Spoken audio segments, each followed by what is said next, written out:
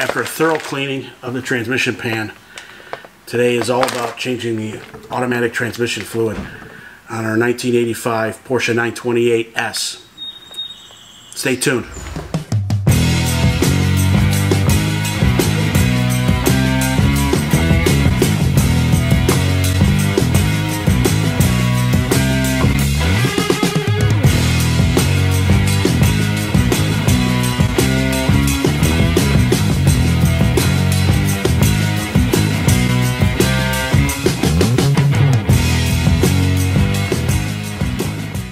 And thank you for tuning in to the latest installment of Grime Time with Rudy. In this installment, I'm going to take you through what I had to do to change the automatic transmission fluid and filter in Risky Business, our Project 928S. So the car, as far as we know, has about 122,000 miles on it. And similar to the full service I've done a number of videos on, we, we just don't have any maintenance records on the car. The 1985 Porsche 928S, in addition to the 32 valve engine, came standard with a four-speed automatic transmission. Five-speed was optional, but this one, the vast majority in the states, uh, came with the automatic. It's actually a modified Mercedes-Benz four-speed transmission from the period. And I say modified in the sense that it's mounted just ahead of the transaxle, ahead of the rear wheels. Apart from that nuance, the procedure is straightforward. It's a little tricky to fill the reservoir, and I'll show that. So let's watch the video and go from there. So before I do anything else, I want to make sure I can get the drain plug open and not strip it out on the transmission pan itself. So here I am. Luckily, I just use a soft blow hammer to just tap in my Allen wrench because there was still some leftover flu um, grease. So the good news here was, um, first impressions were that the transmission fluid looked cleaner than I, much cleaner than I expected. Uh, almost virtually brand new. So very surprising. Again, no maintenance records, didn't know what I was up against. And the better part was I didn't smell any burnt fluid. So while that was draining, right above my head is the torque converter. And I'm going to take you through, not only is there a drain plug on the black transmission pan, but right above me, that, that silver thing is the torque converter. And you can see just at the bottom of the torque converter, there's air gaps cast into the housing. So there is a drain plug also on the torque converter. So let me show you what I have to do there. So in order to get the drain plug in the correct position, I have to rotate the engine. The 928S 32 valve is an interference motor, so I always have to make, make, make sure I'm turning the engine clockwise. The beauty of having a huge breaker bar like I have here is that I can turn the engine with it without removing the spark plugs. So it's a case of moving the engine a few degrees clockwise and then checking to see if I've got the drain plug centered. So I move it a couple, look, look, not quite yet. Keep rotating it and go through this. And obviously this would have been much easier with a, a, a second person there, but but there you go. In that opening of the housing is there's the bottom of the torque converter with the drain plug. So it's another Allen wrench cap screw. Went ahead and luckily uh, didn't strip. And you, again, you can see quite a bit of fluid in the torque converter as you'd expect. Uh, so it was a little messy because you got to get that out, but then uh, put the cap on, dried it all off, and we were good. So now it's a matter of there's six bolts, and I slowly worked my way around because there's probably going to be fluid in there still, even though I drained it all as much as I could. I just slowly loosened it. Wanted to make sure I'm not bending the pan if there is fluid in it. What I did here is I'm using a piece of scrap corrugated and I marked it. So I know I have six holes for the uh, bolts.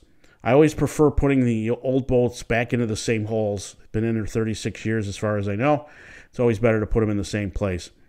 So just marked it with um, you know which side's the passenger side, which side's the driver's side, and, and the locations of the holes of the bolts. So as I was removing them, I just put them in the correct orientation. And then here's the final bolt that I'm taking out. And sure enough, here we go. Because uh, transmission fluid came out. A couple of expletives there. Um, now you'll see here, um, the pan is actually hanging. And I have to take care of a, there's a, I believe it's an air tube that connects to this reservoir. So I needed to make sure, I had, I had to disconnect that. And here I am using some pliers and a screwdriver to get that rubber uh, hose off. Now, once I had the pan off, uh, I was quite pleased to see how clean it was inside. But I went through and uh, used my parts washer to clean it out. There was no magnet inside. I did not find any metal shavings. So if there was anything, I, am very surprised at how clean this fluid was. Now, uh, while I was letting the pan dry, there's three uh, Phillips head screws that hold the filter in and to the to the valve body. Again, look at how clean that is. No smell, clean fluid. Important point here is you see me in the bottom corner here. Now that I've got the filter replaced, I don't have a shot of that.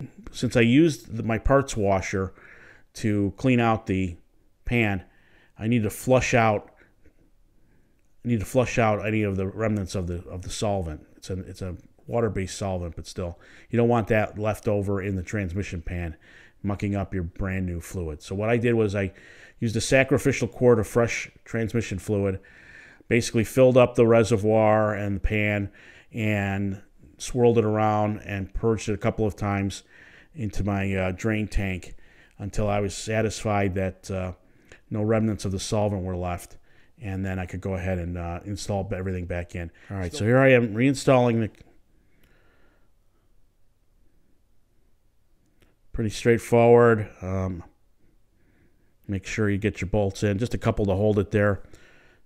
You know, I love having a four-post lift, but it, it's it is a reaching that high at times can be a pain. But I'm, I'm I'll live with it. And you can see it's a little tricky to get the the bolts in as you'd expect working overhead like this.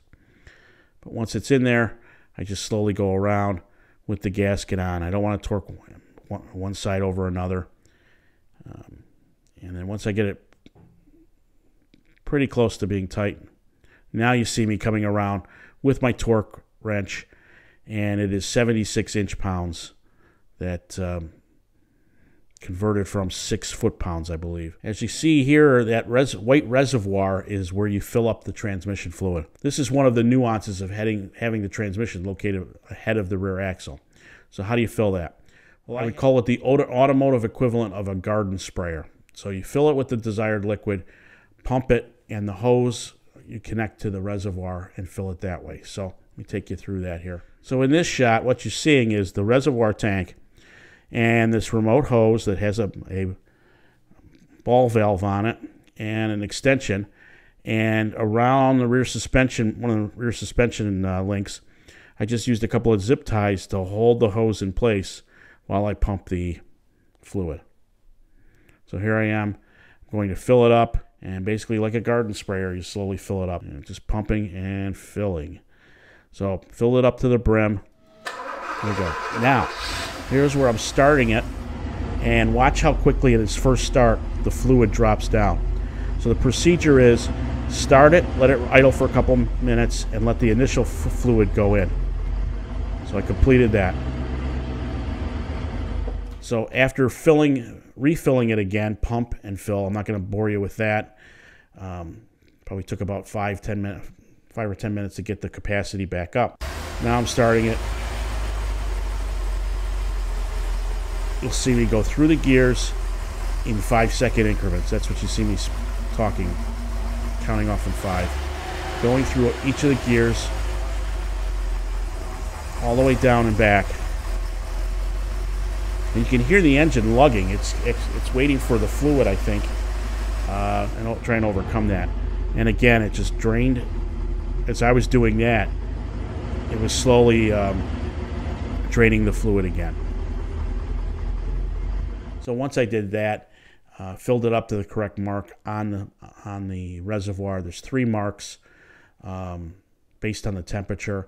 Uh, since the car was not hot at that point, um, the, the, the lowest one, the 60 to 80 degree Fahrenheit marking, uh, is what I filled it back up to.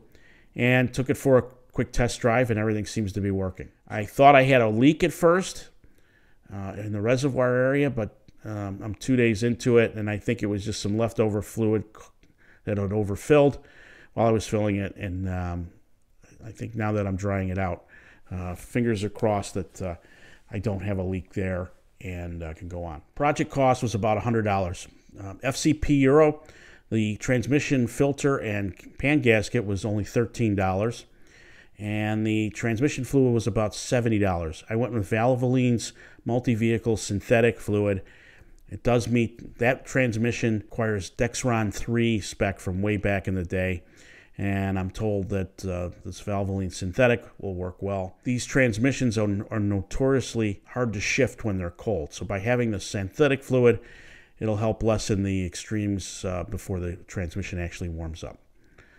So about a $100 project added to the total cost of the Porsche 928 project. A messy job, so now uh, I'm going to have to clean up the mess behind me, uh, but at least I've got one more uh, check mark off the box on the project. So for our next for the next project, we're going to be tackling some oil leaks that are around the engine.